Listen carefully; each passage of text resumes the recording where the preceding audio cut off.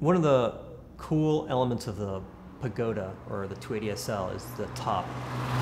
One of the things I read in the design brief, they wanted to make sure that the journalists could come out to race day, park their 280 SL on the side of the racetrack, climb on top of the roof, get their cameras out and take pictures of the race that day. And it's just a kind of cool little design brief component to that roof that it's got more than one function to it. There's a crash test, but they also want to make sure that a big German guy could sit on top of that roof and take pictures.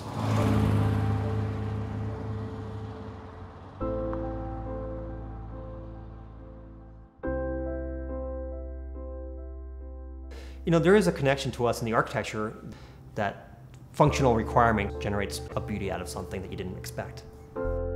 My name is Daniel Monti. I drive a 1969 Mercedes-Benz 280 SL.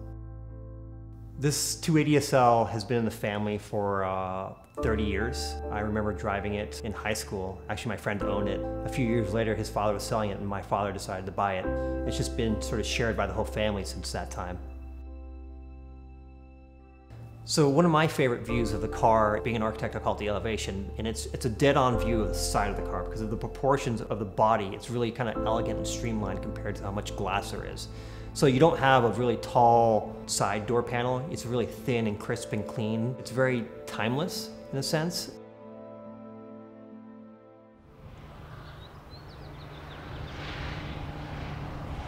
I really appreciate cars that are sort of, they're elegant, they're simple, they don't have a lot of extra fluff. The Pagoda is the same way that, and it's kind of a class change at a certain time when it came in, playing that balance of being forward thinking, but yet kind of a timeless design. Uh, our architecture tries to be straightforward with basic principles that you can appreciate uh, in the future. Basic ideas that are timeless in their nature, and that's how we hopefully create architecture that's pushing the boundaries but not outdated in five years.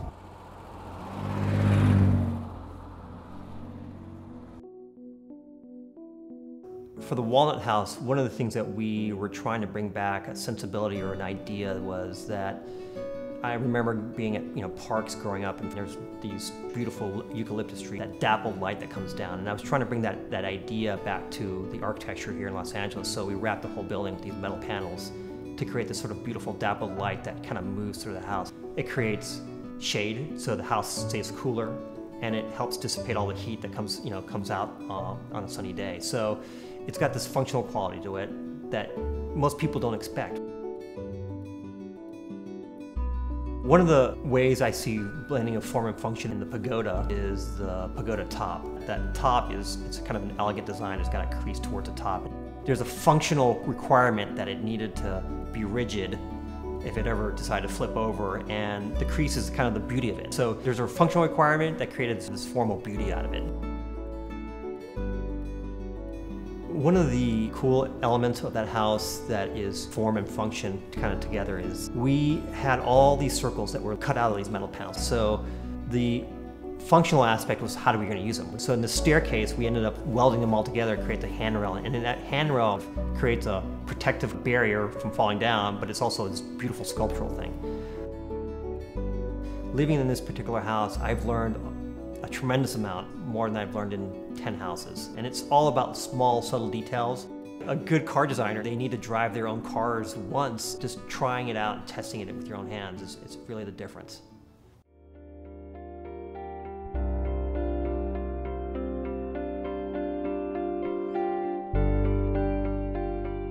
I think vintage car enthusiasts are enthusiastic about cars and all these other sort of ancillary design features, kind of like watches, houses, or whatever uh, is because there's just like a, a well-designed components to stuff, right? You look at a beautiful car and, and you love the engineering of it, and, and a, a, wonderfully designed watch has a beautiful engineering to it. It's got a great proportion, it's got a beautiful little bezel, and there's little, little details that add up.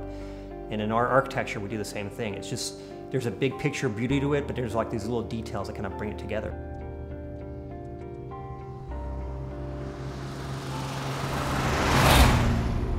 The 280 SL is a fun car to drive because it's a kind of what I call a grand cruiser. You're just kind of cruising along, you're enjoying life, you're looking at coastline, you're looking at the views. You're not out to race everybody, you're just kind of cruising along and enjoying it. It's super reliable. Every time you want to start it, it doesn't have a problem with it. It's got that beautiful German engineering that always is there. I don't have any children, but my brother has three daughters, and I hope that the heritage gets passed on to them and they are the new custodians of the car as they get older. And then they pass it on to the next generation of Montis. So hopefully it'll stay in the Monti family for many, many years.